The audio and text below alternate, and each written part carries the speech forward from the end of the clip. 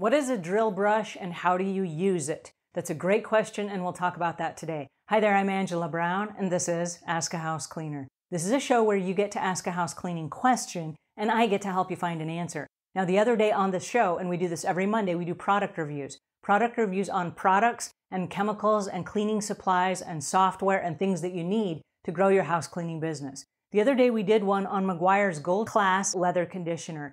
And what was interesting about that product review is you did not ask about the leather conditioner, you asked instead about the drill brush that I used to apply it.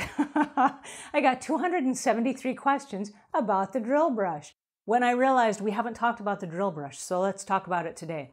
The drill brush is a solution to replace the manual labor that you use when you clean. I say manual labor. As a house cleaner, you're going to have a lot of wear and tear on your shoulders. This is from vacuuming, it's from wiping things down, it's from cleaning mirrors. Every movement that you do with your arms is going to take a hit on your shoulder eventually. So if you're inside a bathtub and you're doing a lot of scrubbing and there's a lot of elbow grease, that comes from your shoulder, okay? So anytime that we can take the wear and tear off of our body parts and we can add it to something that's electronic, this does the heavy lifting for us. So the other day we applied a whole bunch of leather conditioner on leather furniture with the leather brush. Now this is part of a kit. There are four different brushes that are sold as part of this kit.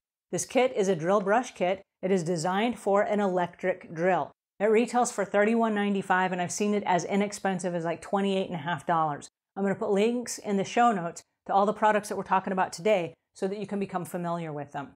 But the reason that I like this kit is because it comes with four different brushes. The red one is designed for brick. So if you're outside and you open your window and there's like moss and gunk and mold that's growing on the outside of your brick, this is the brush that you use to get that off. Okay. So it's designed for the outsides of your house as well as like your garage door and stuff where there can get mold and mildew. There are a couple of other brushes. There's a yellow brush, which is for the bathrooms only, only ever the bathrooms. Then there's a green brush that is designed for the kitchen, only ever the kitchen. So if you're cleaning the top of a really icky stove, you use the green brush. If you're cleaning the fronts of the icky, sticky, greasy cabinets that are wood, you use the green brush. So yellow for the bathroom, this would be the bathroom grout inside the shower, at the bottom of the bathtub, around the toilet, on the floor, the grout on the bathroom floor, all that stuff. Yellow for the bathroom, green for the kitchen. White is glass and leather. So if you're inside a shower and there's really icky, sticky stuff on the bathroom glass, you can use this drill brush and just ooze it off, right? So it removes all the elbow grease. All right, so a couple of quick things about this. There are a whole bunch of people that want to create their own because 30 bucks is a lot of money. 30 bucks is not a lot of money. It's a great investment in your business for this reason. Because the bristles are different. This one is for leather and glass. This one is heavy duty and it's for grout. Where are you going to go to find different strengths and then cut them up and people paint them and they do all kinds of weird things. They put a bolt on one side and they try to attach a drill bit on the other side. And then after they use it for a while, the bolts start to come loose and it's really not worth making your own. It really is not.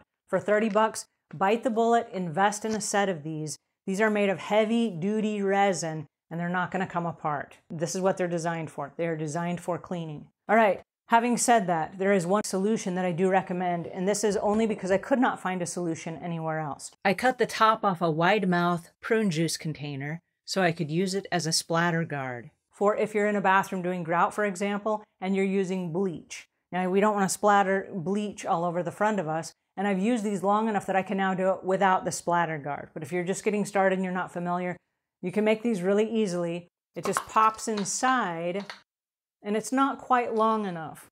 So I did get a drill bit extender, which is just a small piece. It fits on the end of the drill bit. And It still fits in the drill bit here. You just tighten it up. And I hold with my hand, one hand, the unit itself. I hold the other hand here and I hold the head of it to support the splatter guard. And then you can move it back and forth depending on if you need more bristle or if you need more control of the splatter guard. So this allows you then to do all the grout without getting anything splashing back on you. So that is my splatter guard. All right, real quick, let's talk about the drill itself. The drill, you can buy any drill. There are cheap drills, there are rinky-dink drills, there are super duper power drills. This is just a Black & Decker drill. This one fits in my hand really nicely. And the key is it must fit in your hand really nicely because if it's not comfortable, you're not going to use it. So you don't want one that's too big for you. You don't want one that's too small. And you want one that has enough power that it's going to reduce the fatigue from your shoulders. Now, they sell the drills that have cords and then cordless ones. The corded one I prefer for this reason. The rechargeable batteries are super heavy. And so let's say that you're doing a shower and you have your drill above your head. That can get really heavy really quickly and it's an extra fatigue on your arms. And we're trying to reduce the fatigue on our arms, which is why I have the lighter weight model with the cord. Okay, a couple of notes about the cord. This cord is a two-prong cord. And you just want to make sure that when you're getting an extension cord, because I do carry an extension cord with me in my car, you want to make sure that it is a two-prong as well. There's nothing worse than getting to a customer's house and having an extension cord that does not fit your drill. So you got to make sure that they match while you're inside the hardware store and you're buying those two pieces together. So you got to buy a drill that fits and they range anywhere from 20 to about $150. So invest in one that's going to work for you. Now, another reason that I prefer the corded one over the, the rechargeable one is this is not an everyday kit. This is not part of everyday maintenance cleaning. All of this is used for an upsell. And so if you don't have any upsells for three or four weeks, and this is sitting in your car, the battery could drain out. Then you upsell at the last minute when you have a cancellation. You go inside the customer's house, you're prepared to use your rechargeable battery on your drill brush, and then it doesn't work.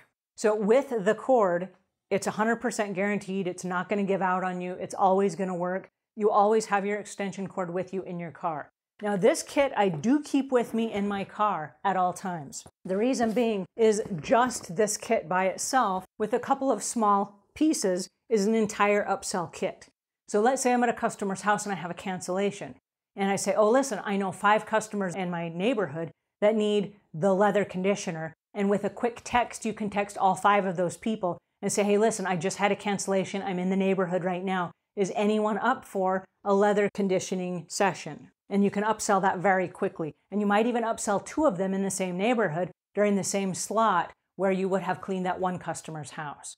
If no, you have no takers for that, you change your cleaning supply, you change the head of the unit, and now you go in and you do the icky, sticky, greasy cabinet upsell to whoever is available right then that's willing to pay you, right? So you have quick upsells very quickly, and it's nothing more than a couple of cleaning supplies and your drill brush kit. Now, we cleaned a cabinet the other day. We did 79 cabinets and four bathrooms, and that's how much we used of the Murphy oil soap.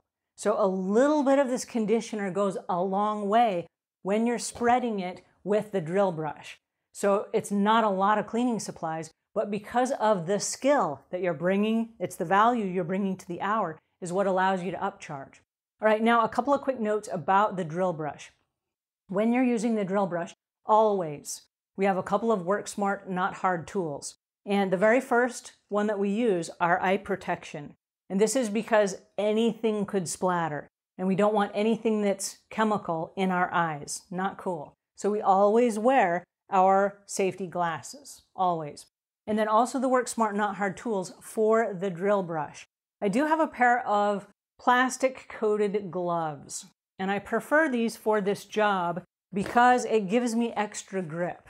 So my hands are not to slip while I have these gloves on, right? These go beyond my regular disposable gloves. Now, the thing that I like about this is if my hands get wet, still no slip. And then if I'm in the bathroom and for some reason, like I'm doing a, a grout job, and I bang my knuckles on the grout, I've got a little bit of extra protective stuff on my hands that goes beyond my disposable gloves. So this is a pair of gloves that I prefer for my upsell kit. All right, so this, just real briefly, is my drill brush kit. Now, they sell a bunch of different drill brush bits. And for all the years I've been doing this, these four, I've narrowed it down to can pretty much do everything. So this is the one set that you need. It's a great investment. And then if you ever do any home or handy projects, you just change the drill bit and now you've got a drill that you can use for handy projects for other additional upsells. So it's an excellent product to have as part of your cleaning kit. And like I say, I just keep it in a little bag in the back of my car. It's always available in the event that I ever need it or I ever need it for some special project. Boom, there it is. All right, so that's my two cents for today. Do you have a drill? Do you use a drill for your cleaning projects? I want to hear. And do you have a drill brush set? Anyway, I want to start a conversation in the notes below. I want to hear how it's worked for you. And until we meet again, leave the world a cleaner place than when you found it.